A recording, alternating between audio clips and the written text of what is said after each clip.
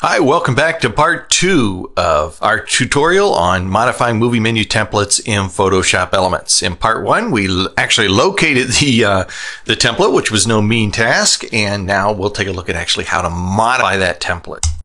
Okay, so here we are back on my main computer, and once again, we can't modify these individual elements here, these individual navigation elements, but that's okay, because in Premiere Elements, we can change the fonts, we can change the font color, we can even change the location of these elements on the menu template. So let's not worry about that right now, but what we want to do is be able to change the background. Now, first I want to get rid of this overlay. You see these little guides on here. I get rid of those by pressing Control semicolon, or on a Mac, Command semicolon. And now I can see my menu more clearly. My background, if you look here underneath all of our navigation, I have my background. Those are the doves. And if you look right above it, there's a little thing that says additional.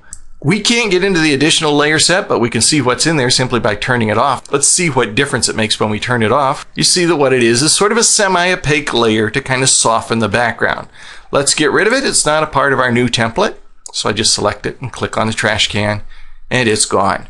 Now I want to replace the background here because I want to make a completely different menu out of this and that's very simple. I have, if I go down here to my photo bin, I have open a picture of a pie and you see that I've sized this pie in this particular case to 768 by 576, approximately the size of a PAL video screen in standard definition. And that'll save me a lot of resizing later. And then it's very simple. I just select the selection tool here or the move tool and drag the picture of the pie onto my new template. When I let go, boop, it's in there. Now let me, I'm just going to control Z that for a second here and show you something. A lot of times Photoshop elements will display in a layout here where you have your photos under tabs.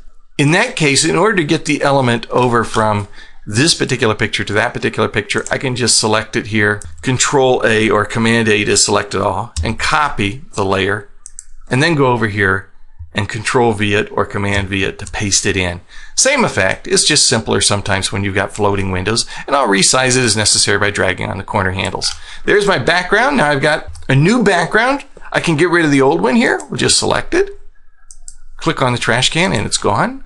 I'm going to call this one background. Just double click on it, call it background.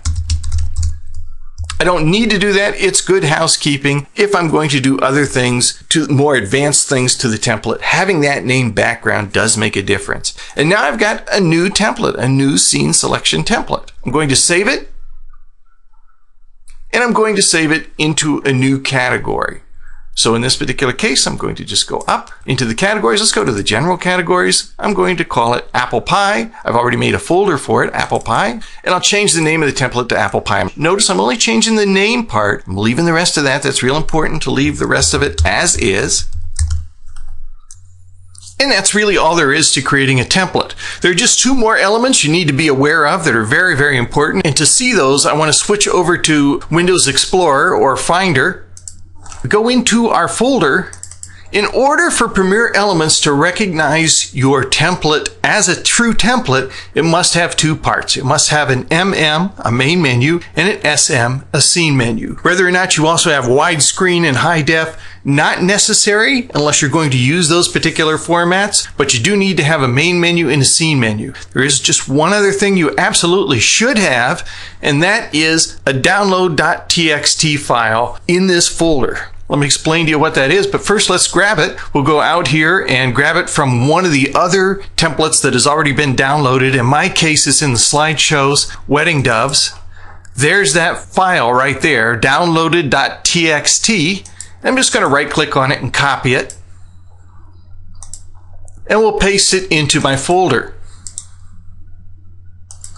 Here's why you need to do that. Premiere Elements 11 downloads your templates as needed, which would be fine if there was actually an Apple Pie template on the Adobe site. There isn't.